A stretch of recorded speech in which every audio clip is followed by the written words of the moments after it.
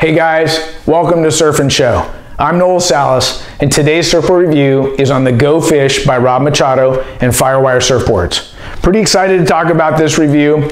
Look, the first way it hit me was I was following, I follow Firewire on Instagram, and they launched some like, kind of talking about it a little bit, but it hadn't hit the shops yet. And I'm thinking, boy, that board looks kind of cool. All these mixed feelings and thoughts were going through my mind. Like, what kind of lines would that draw? Could I surf that? How would it be, look like under my feet? And then I also follow Huntington Surf and Sport, and like a week or two later, they said that it hit the shop floor. So I told Aaron, my brother, I'm like, we got to go down there and check this board out, maybe get one. So I wasn't sure if I wanted a 5.3 or 5.5, so I called over there, made sure they had both in stock, and asked it to hold it for me, and I, we were on our way. And when I got there, it was pretty cool. The guy seemed to know quite a bit about firewire boards, LFT, the construction. I don't, I've never ridden a firewire surfboard personally, but I've always had this interest in trying their boards. And so we're talking about the two different, you know, volume and this and that. But one of the things I, I couldn't decide on 5.3 or 5.5 is all the volume up front, right? With all that volume up there, it's great for paddling, getting down the line, but I really struggle when I when I when I'm standing up and I'm doing my turns is I can feel all that foam under my front foot and it almost makes the board teeter rail to rail if my feet aren't in the right spot instead of flowing. And so I went with the 5.3 just because of that.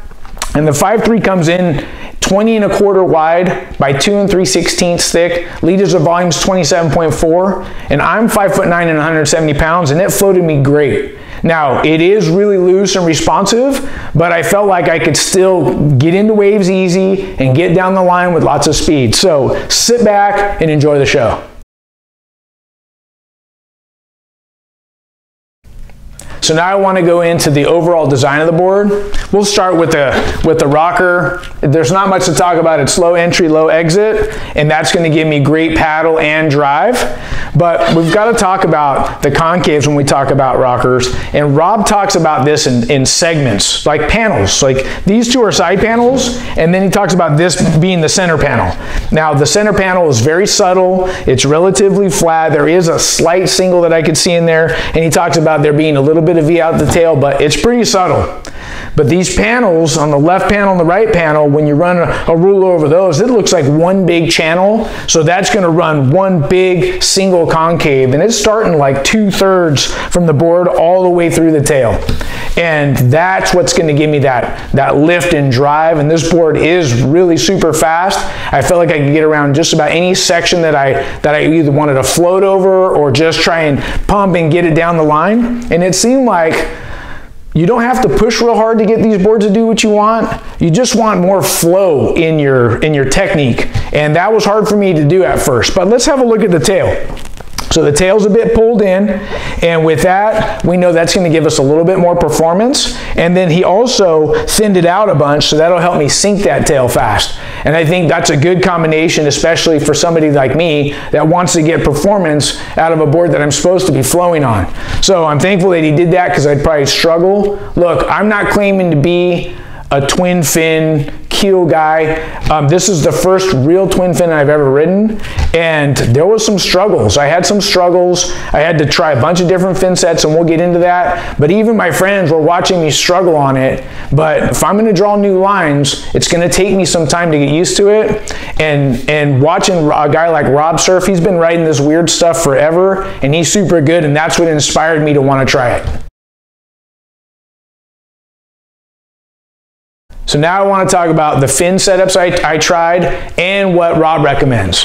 Now it's recommended to ride as with a keel fin. So I tried, I started with the K2. Look, first I want to say this. I am not a twin fin expert. So I wanted to start with the way it was designed for me to ride. So the K2 has the really wide base. It's got a lot of sweep to it. And that's going to make my turns a little bit more drawn out.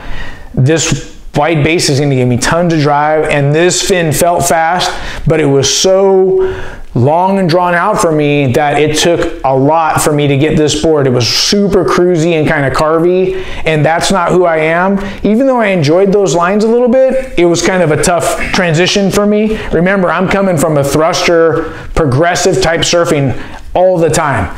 And so I thought, well, let's try the K1. What am I going to get? A little more upright fin, still a wide base, and it's still, it was a little bit transition into my turns faster, but still a little cruisy for me. So I thought, well, I've got a bunch of different fins to try, so let's move on and try something else. But this fin was very fast, board felt stiff.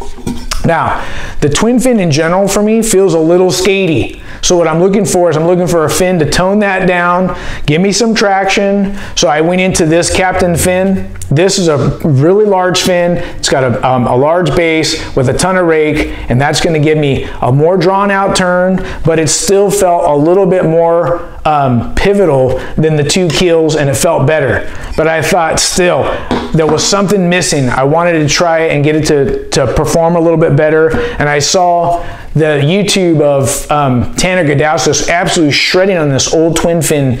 And the fin that he was, that that board had glass ends, it had more of an upright fin. So I wanted to try the Merrick twin fin. So it's got the base, but I felt like it was so upright that the board was super loose. It was really skaty, and it didn't work at all for me on this board. So I thought, what am I going to do? And I had the T1 and the Captain Fin Special, which is very similar in design. Both these fins work the best for me, and I'll tell you why. Because I'm a more of a progressive surfer, I want my turns faster, these fins seem to, to tone the board down like I could get some traction because I had a good amount of rake and I could also pivot faster and that's what I was looking for. And as I got used to the board, I felt like when I was doing my turns, the skating feel felt like it kind of disappeared and I was able to settle the board down and not feel slidey on the front side. But backside for me, I could say that I never really figured it out. I felt like when I was going backside, coming off the bottom, hitting my top turns, my weight would transition forward, the fin would, the tail would start drifting and I would have to regroup and start again. But for the most part, this board, backside and front side, was just flying down the line and projecting, and that part felt good. But front side, I felt like I figured it out and started to have a lot of fun.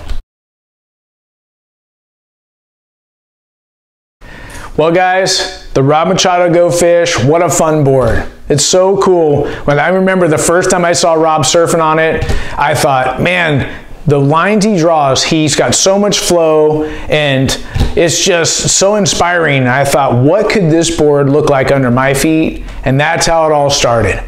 So I've chose some fins that probably Rob wouldn't choose, but I don't surf like Rob. And that's the whole point. You need to find out what works for you, and hopefully, this review shed a little bit of light on my struggles and my success and where I landed with what worked for me. Hey, I just want to say special shout out thanks to the folks at Huntington Surf and Sport. I love that they posted that on Instagram. We got to run down there, grab the board that works for us. Super stoked.